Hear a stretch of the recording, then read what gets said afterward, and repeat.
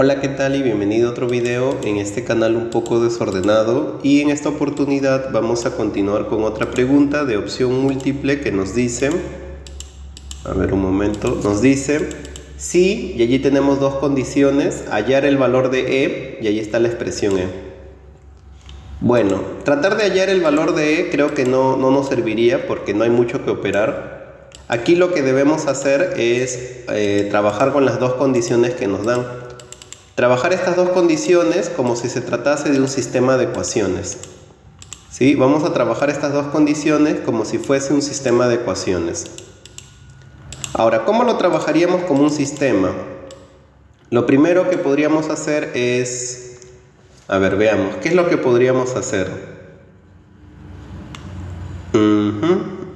Bien, observa. Vamos a copiar la primera expresión. x elevado a x a ver, a ver, x elevado a x, a su vez elevado a x, cuatro veces está el x, ¿eh? A su vez elevado a x, todo eso, ¿sí? Todo eso es igual a n. Ya está. Esa es la primera ecuación que nos dan. Ahora, observa, 4x y un n. Ambos lados, ¿sí? A ambos lados le voy a colocar un paréntesis, así, completo. Aquí también. Y ambos lados los voy a elevar a la potencia x. Vamos a ver si funciona, ¿no? Porque no, no es tampoco 100% seguro que vaya a funcionar. Es un primer intento. Ambos lados los elevo a la potencia x. ¿Para qué? Para aquí formar n elevado a la x. Uy. Allí formé n elevado a la x. ¿Y por qué quiero formar n a la x? Porque esa es la segunda ecuación n a la x, ¿a qué es igual? n a la x me dice que es x elevado a la x elevado a la n. aquí puedo hacer el cambio. x elevado a la x elevado a n. Bien, y quizás con eso podamos operar un poco.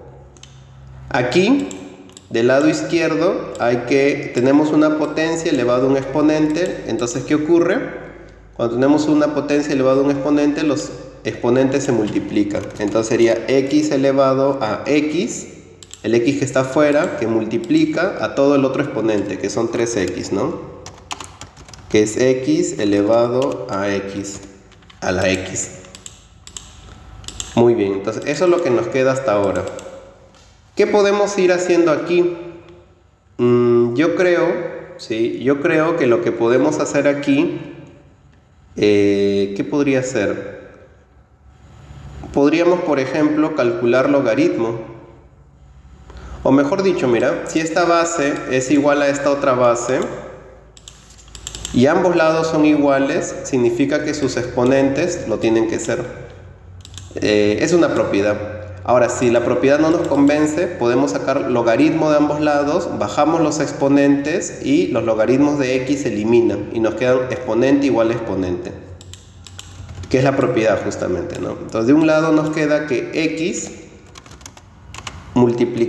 x multiplicado por, ¿sí? x multiplicado por x elevado a la x, a su vez ese x elevado a otro x, es igual a x elevado a la n. Es lo que nos queda. Ahora, no sé si eso nos acercó más a la respuesta o nos alejó. Pero es lo que nos queda por ahora. ¿Qué podemos hacer?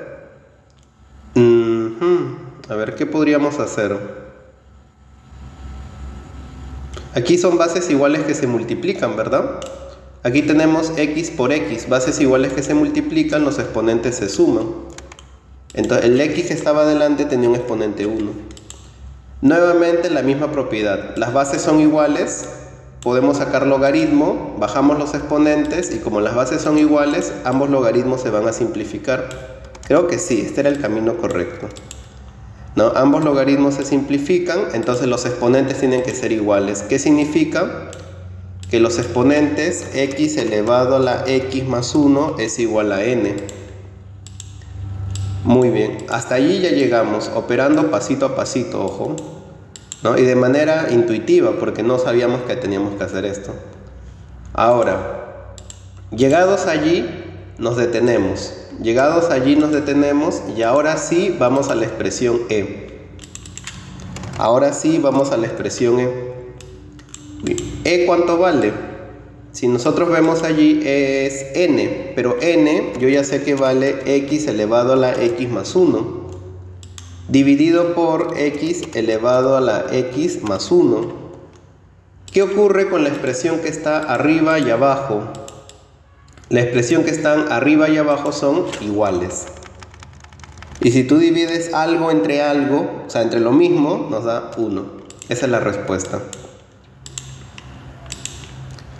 Nada más, ese de allí sería entonces el resultado para esta pregunta, 1. Ese resultado lo debemos buscar en las alternativas. La primera justamente nos dice 1, esa es la respuesta correcta.